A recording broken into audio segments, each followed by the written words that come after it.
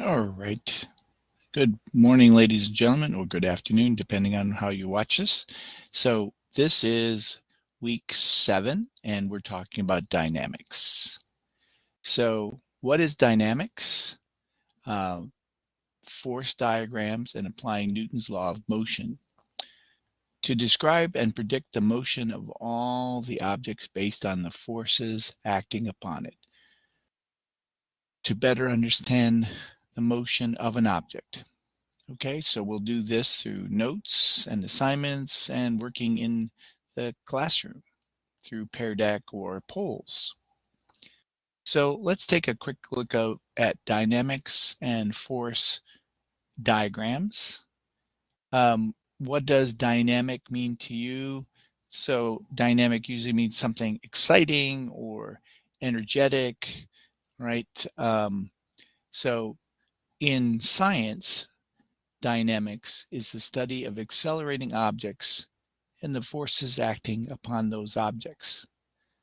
Statics is the study of objects that are at rest or in constant velocity. So those are balance forces.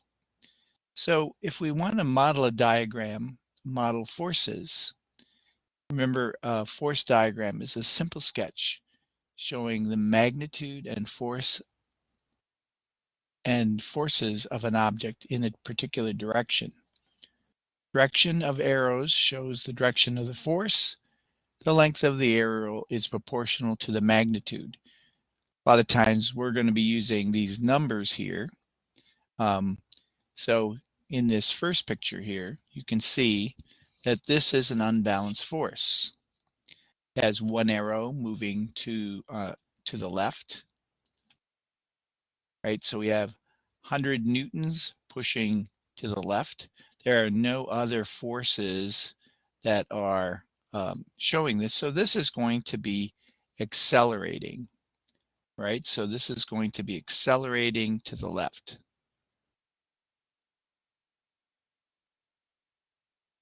All right, accelerating. So it shows an acceleration. Here, these are balance forces. So 100 newtons to the um, to the right. I think I said left on that last one. And 100 newtons to the left equally balance each other out. Um, so think of it as two people pushing with the same amount of force. This is a balanced uh, uh, force diagram this object is either not moving, uh, it's still, or it's moving at a constant velocity. It's no acceleration in this particular case. So balance forces are, ob are here's the definition, balance forces that are opposite in direction and equal in magnitude, the net force is zero. So if I were to draw a box here, my force diagram, and I were to draw an arrow,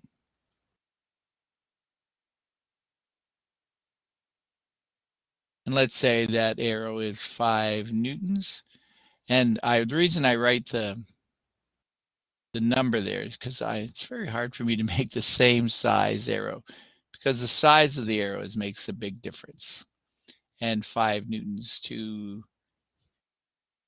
the right and 5 newtons to the left. So if, uh, remember when we're talking about finding that force, if they're going in the opposite direction, I subtract them. So 5 minus 5 gives me 0 newtons. So the net force is zero. So this is not an accelerating object, could be a constant motion object, or it could be an object that is at rest. So unequal forces, another force diagram here, can be lots of different things. It can be arrows that are forces that are in the same direction or not equal. So here is an example of the same direction. Let's make this a 5 Newton force.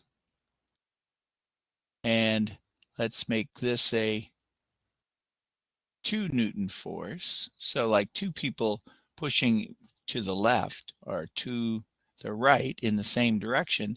So we add these. So it says here net force is not zero. So this is seven newtons to the right. And sometimes we display these as we can say seven newtons and put a plus in there and plus can be right or up. Negative can be left or down. All right, so here is forces that are in the same direction or not equal. Let's take a look at ones that are not equal. Okay, so I have a force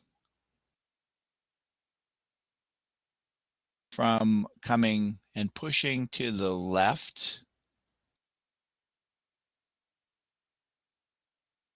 with 10 newtons of force. And I have a force that's pushing to the right with five newtons of force. Now we subtract those because they are um, going in opposite directions, but you'll notice that 10 minus 5 gives me 5, and I still have 5 newtons pushing to the right. Right, so in this particular case, if you think about it, it's something like friction. So this might be force of friction. This could be the applied force, could be the the waviness or the bumpiness or the uh, coarseness of the, the surface that I'm pushing against. It's not sliding very well. so we always have friction and friction is everyday currents, and we, without friction we would not be able to move um, at all. Out in space if you have nothing to you have no jetpack which pushes gases out uh, after behind you you would not be able to make it to a space station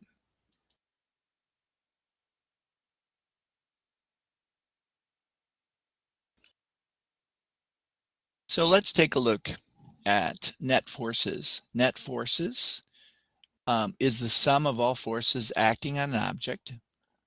Don't forget to use negative or positive signs to indicate direction.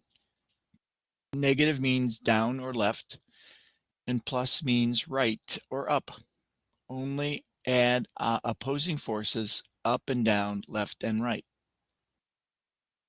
Okay, so let's take a look at you have 10 newtons of drag. You know, so this would be air resistance, force moving up. Okay, and we have the gravity with a negative force um, down of 50 newtons.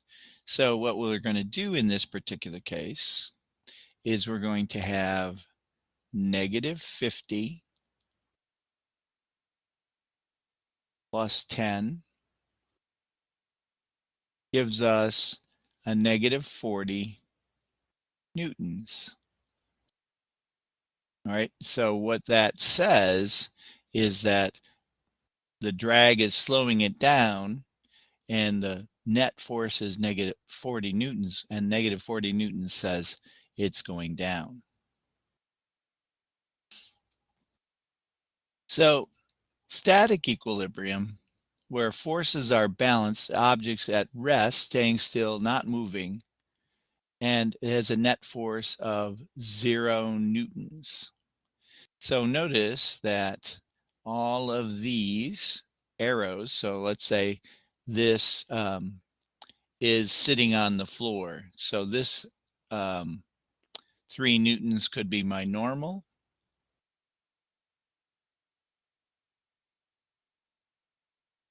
Okay, this three newtons could be my applied force. This three newtons could be my frictional force, and this three newtons could be my gravity force. Okay, because they all are the same, we say that this is at rest.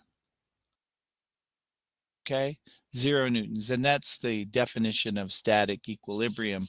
All the forces are balanced, objects at rest, staying still. So let's look at the net force of this object C. Right, we have two forces here, two forces, one pushing to the left, three newtons, one pushing to the right, five newtons. Right, so when they're opposite, remember we have to subtract them. So we have five newtons minus three newtons and we get two newtons. So this is an unbalanced force of two newtons to the right, okay? And two newtons to the right.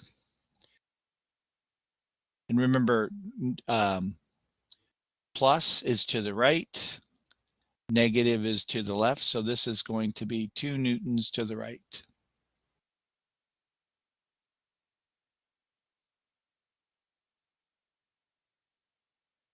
So what is the net force of an object A? Okay, so I'll notice that the forces of to the right and to the left, these are four and four. They cancel each other out. So we have zero newtons here, net force, but we have we have an upward force of six newtons. So that's a plus. And we have a downward uh, force of two newtons. That's a minus. So six minus two, because remember we subtract them when they're in opposite directions. So we have four newtons. And the plus tells us up. Okay, four newtons up, four newtons up. And you can see that um, we could, if it was if we were if we if they weren't balancing each other from the right or left, we would use plus can also be up or right. I'm sorry. All right. Which objects are a state of static equilibrium? So when we're looking for static equilibrium, we're looking for the forces all being equal. So here at letter B, this object is rest at rest. It has three newtons, three newtons um, going up, three newtons going down, three newtons going right, and three newtons going, uh, this one's going right, and three newtons going left. So they cancel each other out. There is a net force of zero. Okay, so object B. Oops. So applying Newton's law of motion, I can use Newton's law of motion, which is force equals mass times acceleration. And I can calculate the acceleration. So if a couch has a mass of 45 kilograms, determine its acceleration. Okay, so notice that the force of friction on the couch is slowing this down. So we have two forces here. So I have 20 newtons to the right. And because they're in opposite directions and um, they're different lengths and different forces, I have to subtract them. So I get 15 newtons and they've added um, the 45 kilograms. So I'm going to take my final force of 15 newtons is equal to 45 kilograms times acceleration. All right. So to sub to solve this, I'll get 15 newtons divided by 45 equals my acceleration. So 15 divided by 45 is 0.33 meters per second squared to the right. All right. Thank you, ladies and gentlemen, for watching that this video. Um, here are your vocabulary words that for this week. Dynamics. We've talked about dynamics today. Okay. Objects that are accelerating. Statics. Objects that are at rest at equilibrium that have a net force of zero force diagrams. Remember, force diagrams show that the box with the arrows, balance forces, have a net force of zero. Okay, they can either be at rest or constant velocity. Unbalanced forces uh, show an acceleration. Okay, net forces, remember net forces, if they are opposite, to each other. We have to subtract, and they give us a, a number that um, is greater than zero if if it's moving. Static equilibrium, net net zero.